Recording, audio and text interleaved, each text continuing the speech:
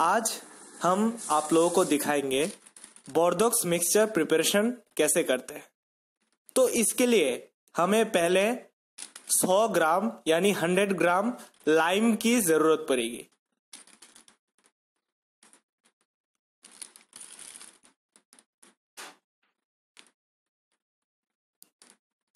तो आप देख सकते हैं, हम वेइंग मशीन के ज़रिए कैसे लाइम की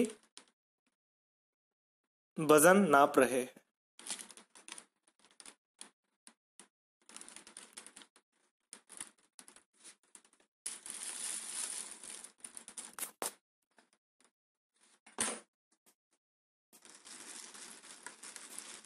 फिर हम लोगों को वही वेइंग मशीन के ज़रिए 100 ग्राम यानी 100 ग्राम कॉपर सल्फेट यानी तूते की ज़रूरत पड़ेगी। यहाँ पे भी हम लोग 100 ग्राम कॉपर सल्फेट ले लेंगे। फिर इन कॉपर सल्फेट और लाइम को अलग अलग दो बाल्टियों में पाँच लीटर पानी के साथ अच्छी तरह से मिलाएँगे।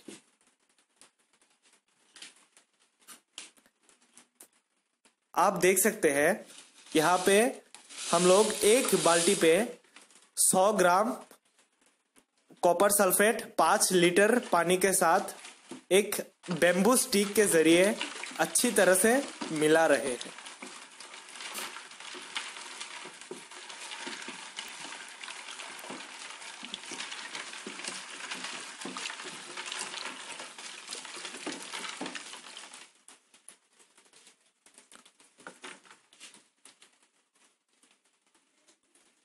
और फिर दूसरे बाल्टी पे पाँच लीटर पानी के साथ हम लोग सौ ग्राम लाइम यानी चूना को बिल्कुल उसी तरीके से एक दूसरे बैम्बू स्टिक के ज़रिए अच्छी तरह से मिला रहे हैं।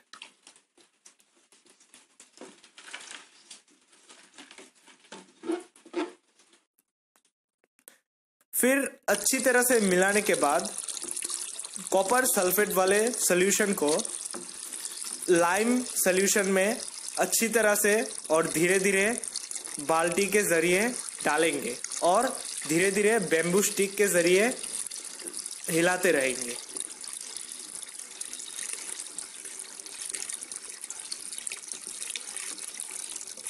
याद रखिए, आप तब तक हिलाते रहिएगा जब तक ये दोनों सॉल्यूशंस एक दूसरे के साथ अच्छी तरह से मिल ना जाए।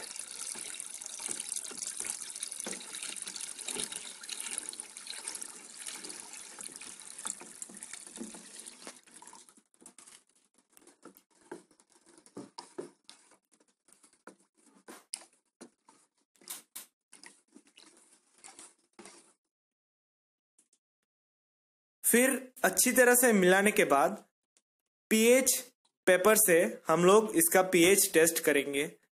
हम लोगों को देखना पड़ेगा, ताकि पीएच हमेशा सेवन यानी सात की तरफ़ रहे, यानी न्यूट्रल रहे।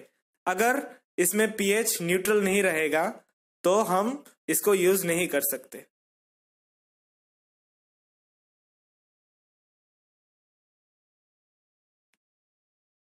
यह है कुछ मेरिट्स और डिमेरिट्स। यह है कुछ ज़रूरी प्रिकॉशंस जो आप यूज़ कर सकते हैं।